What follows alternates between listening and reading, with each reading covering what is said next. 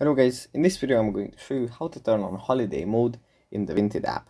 But before that, don't forget to subscribe and leave a comment down below because at 10,000 subscribers I'm going to show you my whole YouTube revenue statistics and growth strategy. So without further ado, let's just jump right into it. First we have to open up the Vinted app. And here it opens up in the home menu where we have some suggestions, articles. From here we have to go into the profile menu in the bottom right corner and uh, here it opens up like this. Then if you scroll down a bit we find holiday mode. We can tap on this and then at the top we find hide my items.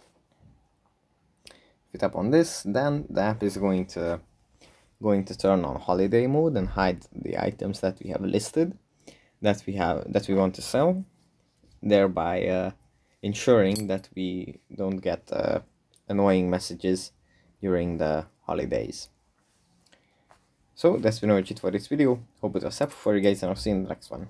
Bye.